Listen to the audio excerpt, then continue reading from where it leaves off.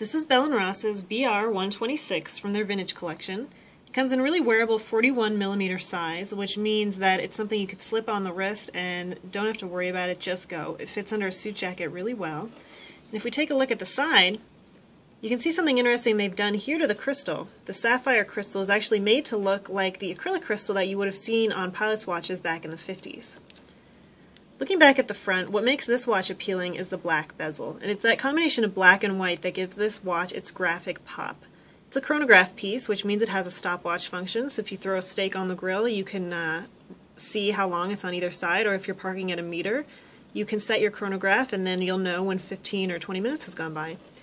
You also have the date down here at 4.30.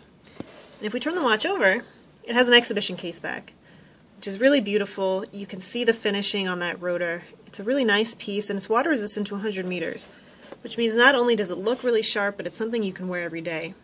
This is available here at Oster Jewelers.